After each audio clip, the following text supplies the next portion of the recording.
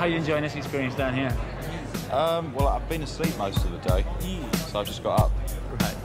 Um, Well, you look fresh. yeah. You know it's, it's quite, quite interesting. West side, coming from the west side. It's nothing but the west side.